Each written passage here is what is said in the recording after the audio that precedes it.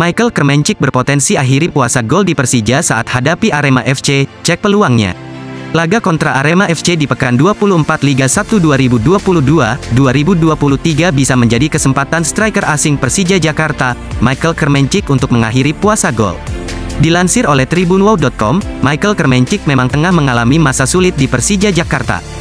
Ia terakhir kali mencetak gol untuk Persija Jakarta pada laga kontra Barito Putra dalam lanjutan pekan ke-9 Liga 1 2022-2023. Michael Kermencik mencetak satu-satunya gol di laga tersebut dan membawa Persija Jakarta menang 1-0 atas Barito Putra di Stadion Demang Lehman, tanggal 11 September tahun 2022. Setelahnya, ia absen mencetak gol hingga saat ini. Selain sulit mencetak gol, striker berkebangsaan Ceko tersebut juga tak dijadikan starter oleh Thomas Doll di dua laga terakhir. Bomber berkepala pelontos tersebut berpotensi mengakhiri puasa gol sekaligus masa sulitnya di Persija Jakarta saat menghadapi Arema FC di Stadion Patriot Candrabaga pada Minggu, tanggal 12 Februari tahun 2023, pukul 15 waktu Indonesia Barat. Hal itu disebabkan karena, Michael Kermencik memiliki kenangan manis saat menghadapi Persija Jakarta di perhelatan Liga 1 musim ini. Momen itu terjadi ketika Persija Jakarta melawan Arema FC dalam lanjutan pekan ke-7 Liga 1 2022-2023 di Stadion Kanjuruhan, Malang, tanggal 28 Agustus tahun 2022. Michael Kermencik dijadikan starter di laga itu dan bermain selama 77 menit. Michael Kermencik menjadi pahlawan kemenangan 1-0 Persija Jakarta atas Singo Edan di laga tersebut.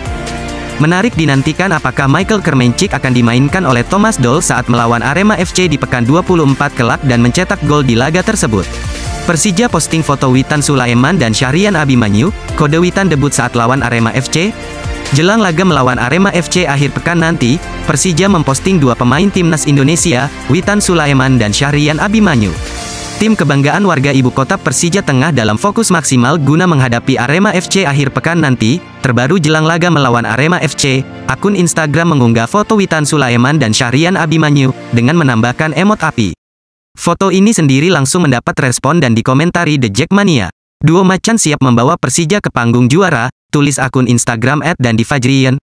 Yang muda yang berbahaya, timpal akun at Rizal Fahri 43. Ada juga yang menanyakan apakah Witan bisa diturunkan lawan Arema FC. Lawan Arema Witan udah bisa main gak? Tanya netizen dengan akun Etris saja. Belum diketahui apakah Witan Sulaiman apakah bisa turun melawan Arema FC, hingga saat ini Thomas Doll belum mengumumkan siapa saja yang akan tampil saat menghadapi Singo Edan.